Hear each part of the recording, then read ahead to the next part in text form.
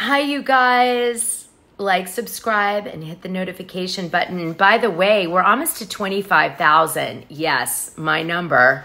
Did you know 25,000? So, we'll have to do something really big when we hit that number for you guys. I don't know what yet, but I'll start thinking about it if you guys hit the subscribe button. All right.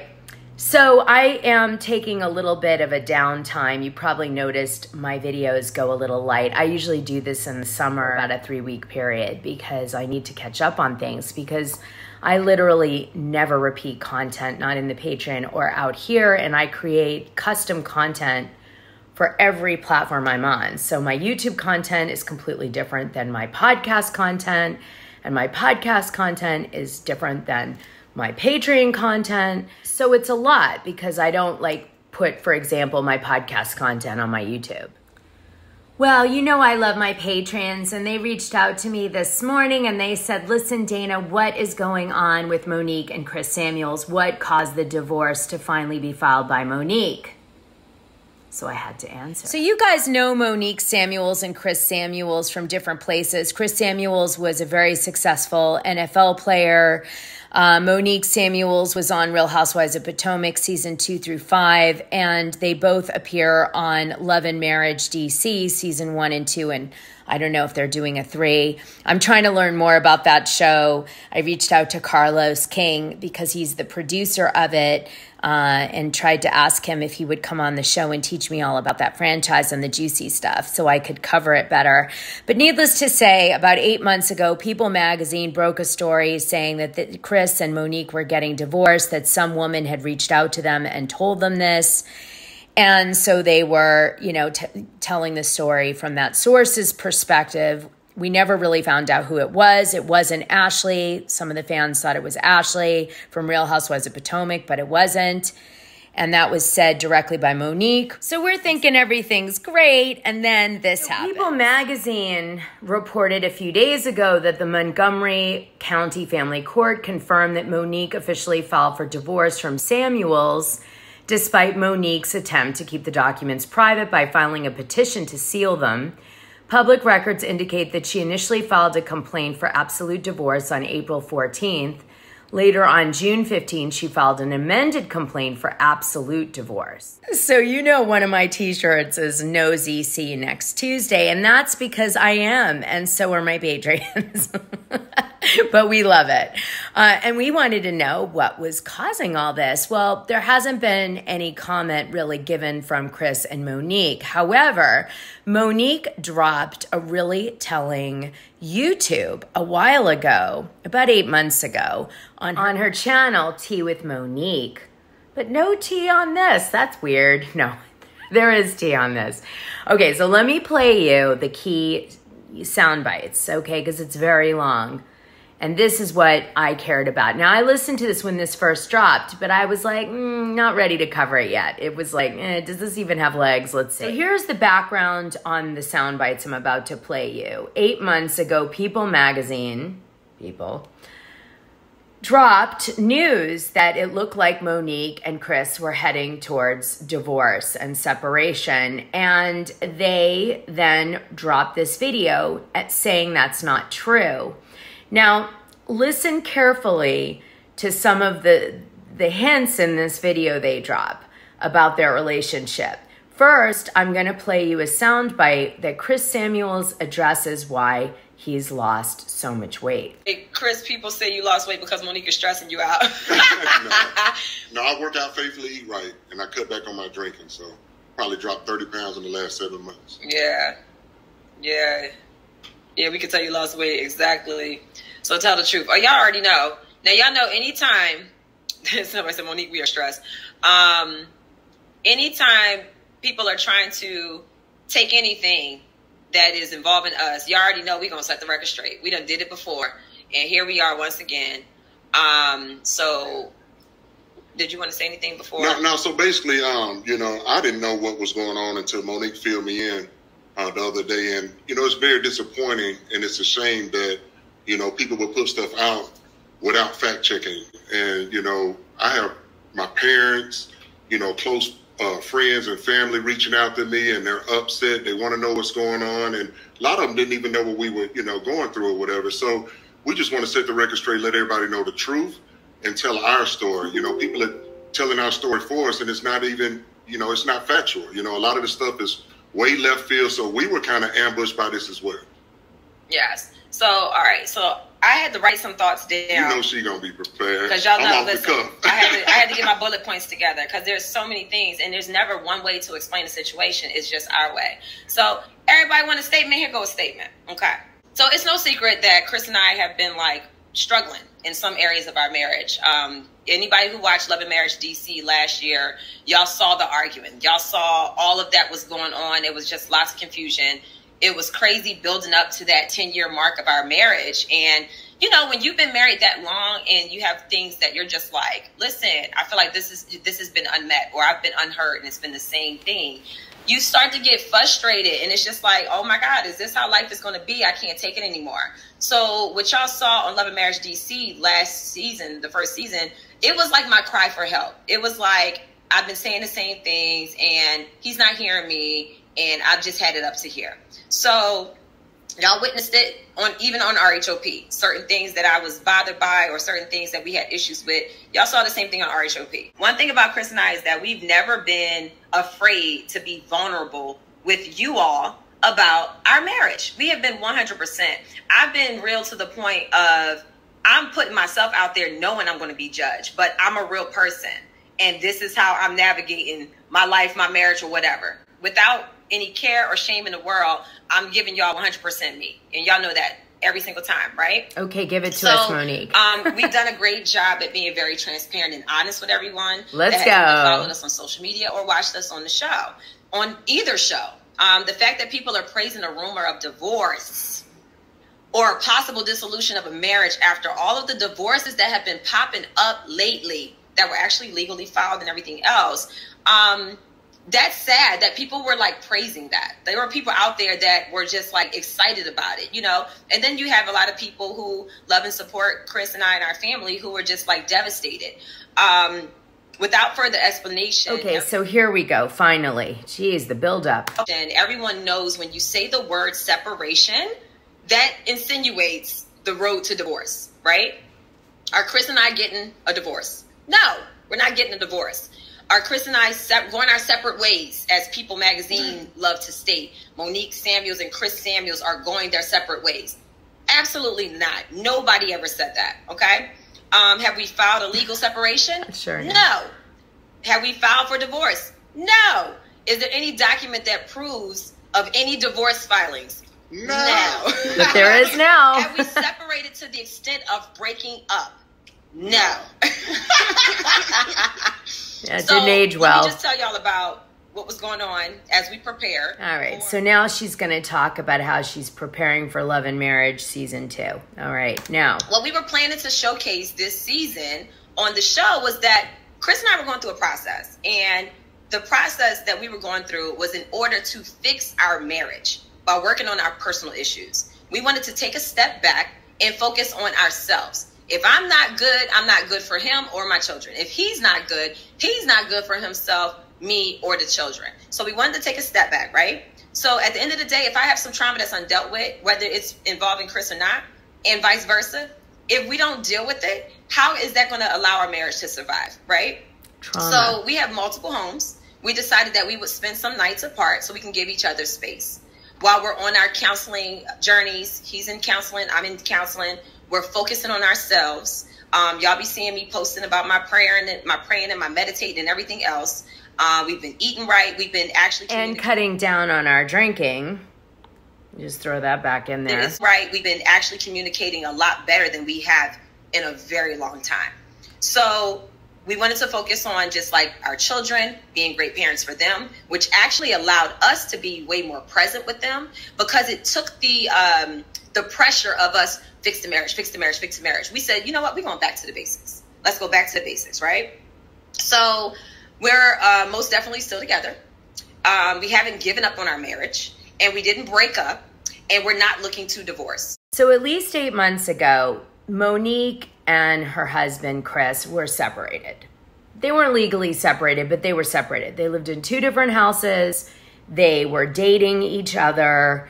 They were going through counseling. There was some sort of trauma in their relationship. Obviously, that it had something to do with maybe, um, you know, not being healthy, maybe not, you know, get talking about problems, maybe drinking too much, which can cause bad behavior or, you know, whatever, right? You get the drift. Things aren't great in the Samuels household because they're going in this moment their separate ways, even though they're downplaying it. So we're simply trying to be better. So we basically said, screw all the fussing and fighting. Um, let's go back to the beginning, fix ourselves on an individual level, self love, all of that good stuff. Then work on our friendship so we can reestablish that. And then um, focus on what we both want for our marriage. So we've been talking at each other for so long that we needed a change that would work for us. Okay? So what we're doing wasn't like a great example for our children. We're looking at our kids. We're we're like going through sometimes We are barely right, we were barely affectionate. Like we were not like connecting like we should be in how we used to. And we're like and think this is how love and marriage is supposed to be, right? So this allowed us a chance to like rediscover who we were and give each other space while doing that. Um, we explained this, everything that we're telling y'all right now. Um, Chris looks football serious. no, I just thought that was hilarious. It was Um, the funny thing about it is through this whole process of what's been going on the last day or so, we kind of laughing at it. Y'all like, literally seriously. saw us laughing. Yeah, like really, like it's not even phasing me like that for real. Yes. So um, everything that we're telling y'all right now is exactly what we told production. It's exactly what we told Cass. Um, it's the same conversation that I had even with Ashley. Because a lot of people are trying to throw Ashley under the bus. Ashley is innocent. Leave her alone. She did not start this stuff. People Magazine got a call from some woman and took it and ran with it. So we'll get to that in a second. So um, we explained all of this to uh, production. Just put my Lolita glasses on for a second. People magazine is a tabloid, but they don't just run any story. They have to really believe the source. And this source was not a cast member, or they would have mentioned it. So, who is this quote unquote some woman calling people, and what would her motive be? And this makes me think that maybe something was happening with Chris Samuels on the side. I don't know this, I'm speculating, but it seems fishy to me. And why do people believe this woman who spilled this tea eight months ago before anybody else knew? Hmm? Maybe somebody who wanted it to be true. Okay, so one of the things I sensed as I listened to this is Chris Samuels is more committed to this relationship than Monique in the sense that it seems like she's the one who's the most unhappy and maybe Chris is the one that needs to do the work. Just saying.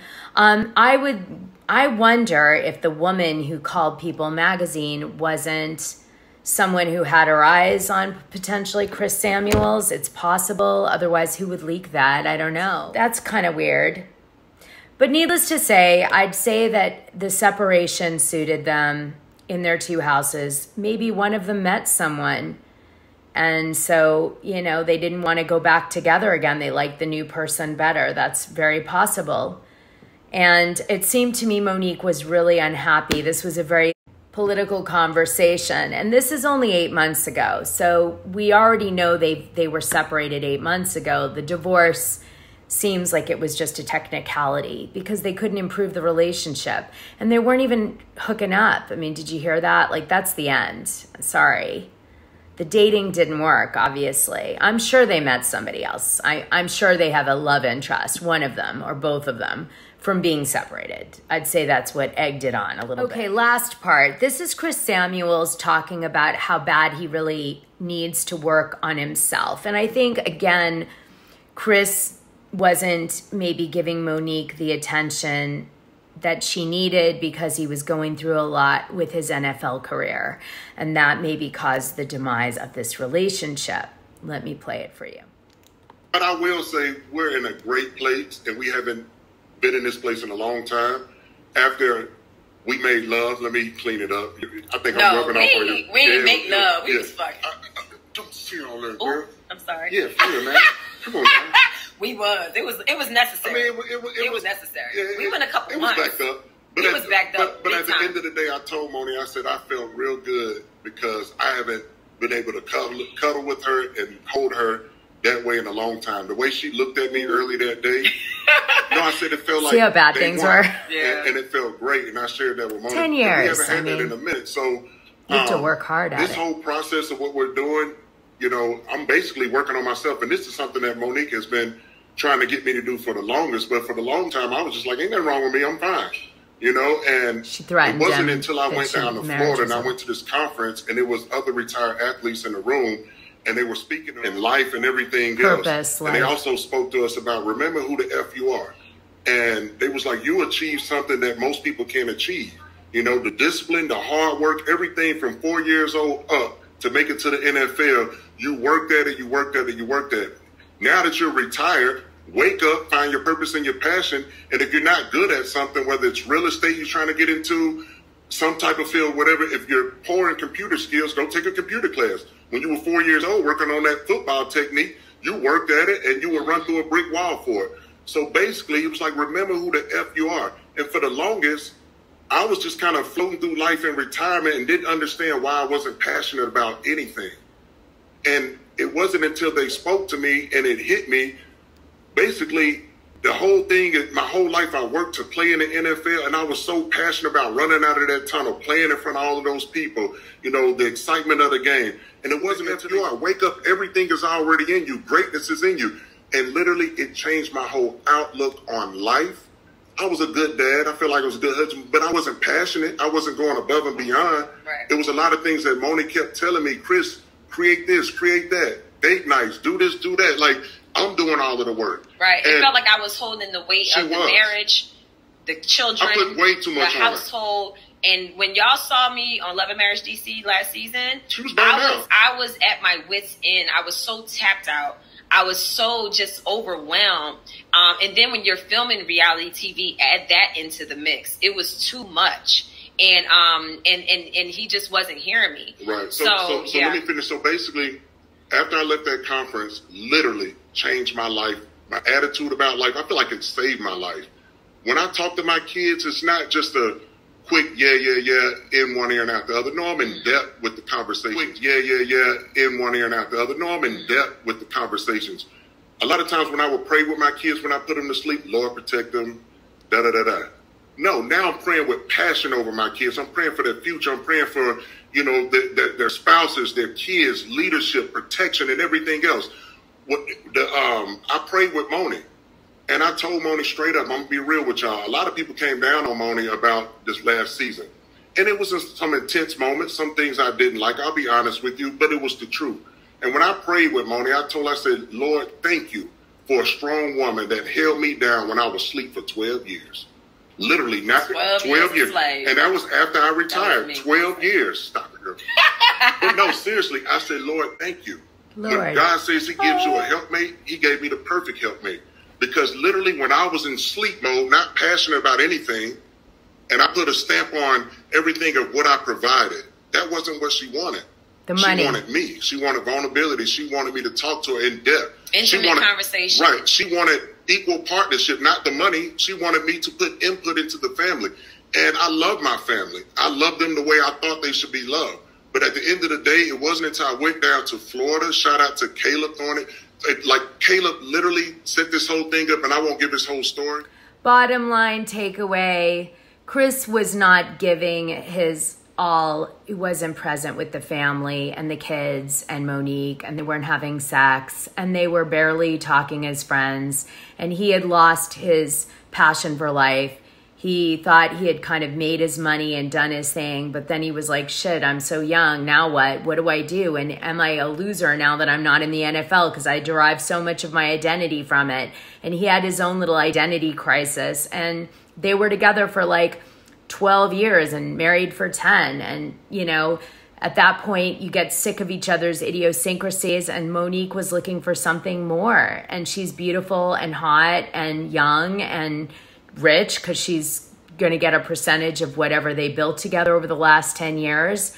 But she also, you know, probably wants to have a partnership with someone who's going to be checked in and was tired of doing the whole by herself. Maybe, you know, unfortunately, Chris, you know, was really doing great when he got off the high of this self help thing for NFL players, but then it like fizzled out and he kind of went back to his normal routine. And Monique had drawn a line in the sand. And I'm sure she didn't want her kids to find out through People magazine. So I think this time she controlled it a lot better. And that's that. So that's what happened with Monique and Chris Samuels. Now, Monique Samuels was careful to say that reality TV helped her marriage and didn't hurt it, but that's because she wants to keep her job. I'll tell you right now, there's no way that the reality TV show didn't upset this even further because number one, it makes people who are your fans hit on you left and right out when you're in the, you know, wild. Number two, you have a tendency to look back on your video coverage and be like, oh my goodness. And if one of your partners isn't supportive to the show, you get upset. And if the other partner is jealous of all the attention you're getting while you're on the show and they don't have anything else going on at the moment and they only derive their personality from like their achievements and they're not used to not having all the accolades go to them, then I'd say it's pretty straining on the relationship. That's just my thoughts, though. All right, guys, I'll try to do another video. Bear with me. Big kiss.